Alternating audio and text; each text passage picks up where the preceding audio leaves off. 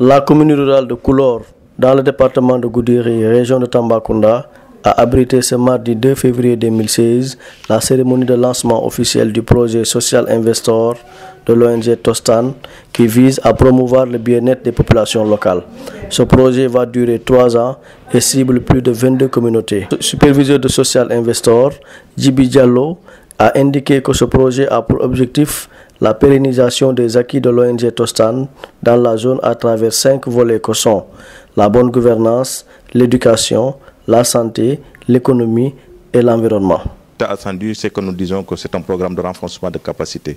Aujourd'hui, en matière d'hygiène et de santé, il faudrait que les gens la première chose d'abord, c'est un programme qui est basé sur les droits humains. D'abord, il faudrait que les gens puissent respecter les droits, hein, appréhender les droits et les respecter, n'est-ce pas?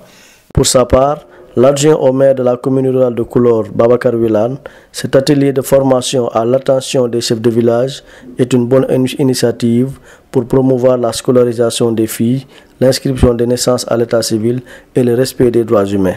Et nous invitons aussi à tous les habitants de Koulor, je parle de Koulor commune, de, de bien suivre euh, ce que euh, Tostan va faire dans la zone en matière d'éducation pour la promotion de nos villages. Après avoir lancé officiellement ce projet Social Investor, l'adjoint du sous-préfet de Couleur, Pape Dien, explique sa pertinence. L'importance du projet, si on sait que Tostan intervient surtout dans les ressources humaines, et les ressources humaines, c'est le fondement de tout développement.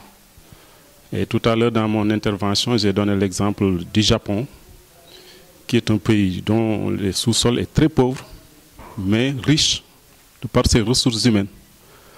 Donc euh, c'est important ici, dans certaines, surtout dans la zone de Tambacounda, où les gens sont vraiment ils sont réfractaires à certains, certaines innovations allant dans le développement.